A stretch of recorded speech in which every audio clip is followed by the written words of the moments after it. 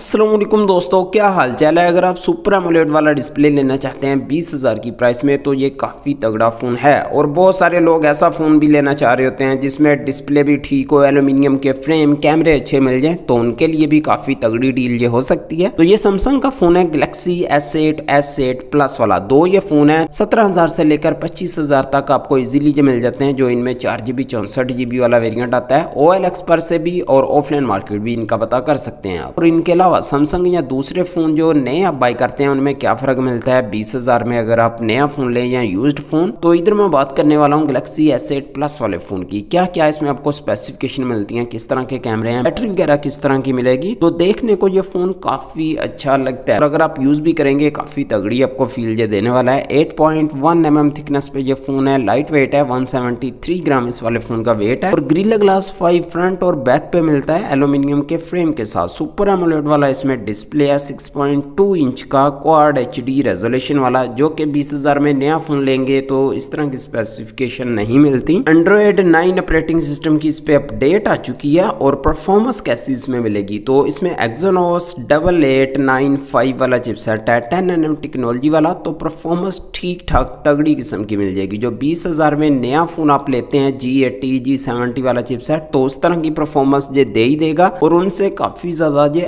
Efficient भी है battery के मामले में तो बहुत कम बैटरी ये यूज़ करने वाला है। चार जीबी इसमें रैम है एलपीडी डी वाली, और चौसठ जीबी की स्टोरेज है। टू तो इसमें छह जीबी रैम, एक सौ अठाई जीबी स्टोरेज वाला भी वेरियंट आता है। उसकी प्राइस ज़्यादा देखने को मिलेगी, जो पाँच छह हज़ार तक भी हो सकती है। बैक पे इसके एक ही कैमरा है, जो बारह मेगा पिक्सल का है ओ की स्पोर्ट के साथ आता है। फोर वीडियो थर्टी एफ़ में इससे रिकॉर्ड कर सकते हैं। तो जो आपको बोके कैमरा यानी ब्लर वगैरह चाहिए होता है, या मैक्रो कैमरा तो इसी एक कैमरा से वो सभी काम आप ले सकते हैं। यानी इधर एक कैमरा ही बहुत तगड़ा आपको मिल जाता है। किसी भी फ़ोन से कंपेयर करें बीस हज़ार वाले। तो तबाही किस्म के रिज़ल्ट इसके मिलते हैं। आठ मेगापिक्सल का इसमें सेल्फी कैमरा है। इससे भी क्वाड एच में वीडियो रिकॉर्ड कर सकते हैं टेन एटी रेजोल्यूशन के साथ। सिंगल स्पीकर है इसमें वाईफाई फाइव है ब्लूटूथ फाइव पॉइंट ज़ीरो वाला। टाइप सी वाला इसमें चार्जर मिलता है यूएसबी थ्री पॉइंट वन की स्पोर्ट के साथ। फिंगरप्रिंट स्कैनर इसमें बैक पे लगाया गया है और बाकी सभी सेंसर है। जेरोस्कोप हार्डवेयरली मिल जाता है इसमें। तीन हज़ार पाँच सौ एम एच की इसमें बैटरी है।